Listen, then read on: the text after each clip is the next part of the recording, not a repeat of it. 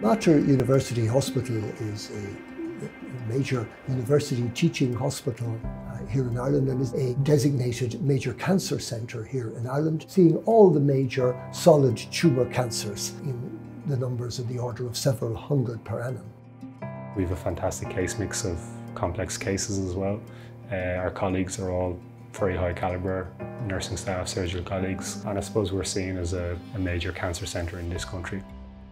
We have had a research output on the subject of cancer and anaesthesia. We would like to think that we have contributed to the development of the new subspecialty of onco-anesthesiology, which is concerned with optimising perioperative care and evaluating whether our perioperative interventions have longer term outcomes in cancer patients.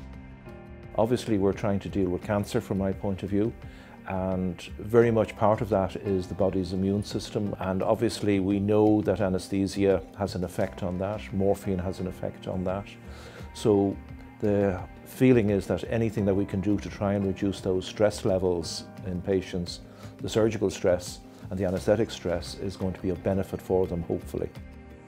The stress response associated with surgery causes some degree of immunosuppression and therefore you're creating a sort of perfect storm where any remaining tumour cells would have optimum conditions to multiply and grow in. So our job is about minimising that stress response or minimising those conditions that allow tumour cells to take hold elsewhere in the body at the time of surgery.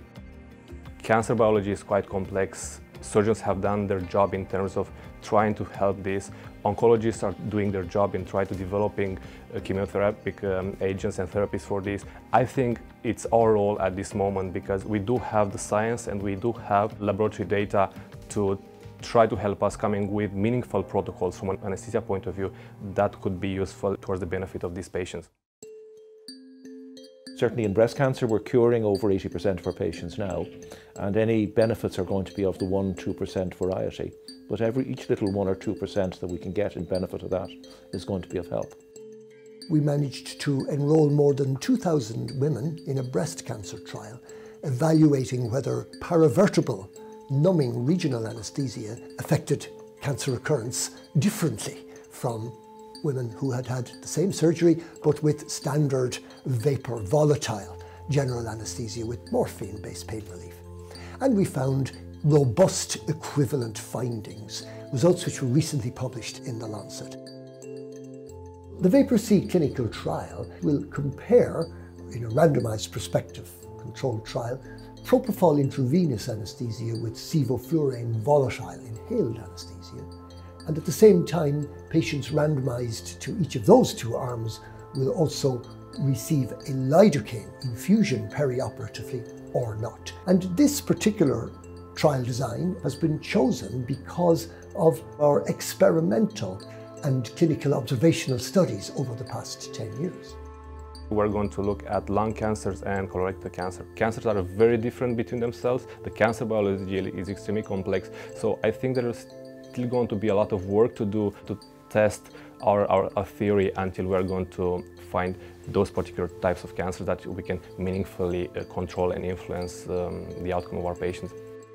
I am co-principal investigator along with our lead principal investigator, Professor Bernard Riedel from the Peter MacCallum Cancer Centre. And we have obtained some funding to begin this VAPOR-C trial from Australia, but we're seeking to expand it into Europe and we need funding to do so we're hoping that cancer centres who see uh, several hundred colorectal and non-small cell lung cancers each year would put their hands up and volunteer to join us to enrol nearly 6,000 patients over the next five years or so to evaluate this clinical question.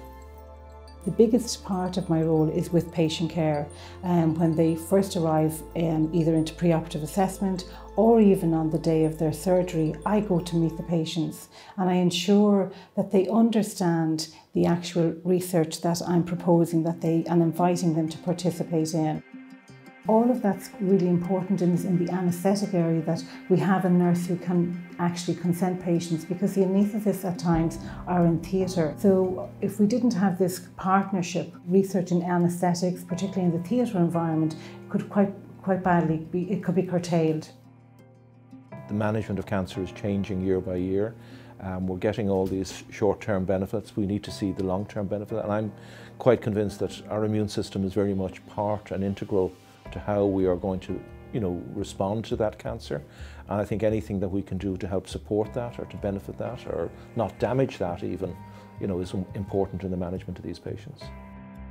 In the event that there are positive findings in this regard with any particular technique, then there really is a quantum change in the perioperative care of cancer patients for the future because it offers an immediate benefit to patients in the short term, which is entirely compatible with existing established treatments of cancer therapy, but it also offers the potential societal benefit of cost savings.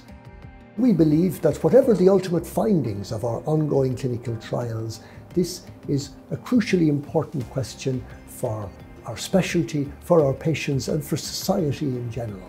And in the event of positive findings, the potential to improve perioperative care of cancer patients going into the future is immense.